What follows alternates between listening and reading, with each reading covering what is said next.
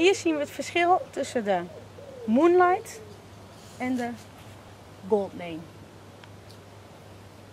De Moonlight is een veel kleinere appel en heeft een rode blos eroverheen zitten.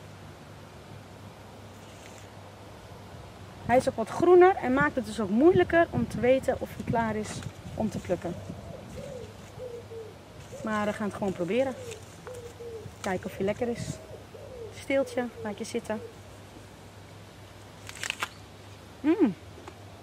Ja, kan ook wel gegeten worden. Bij de Gold Lane moet je weer even kijken naar de achtergrondkleur. Die is heel duidelijk geel hier en kan je dus plukken en eten. De twee verschillende appels. Twee verschillende appels. De grote is de Gold Lane de kleinere is de Moonlight. De Moonlight is ietsjes groener, Gold Lane wat geler.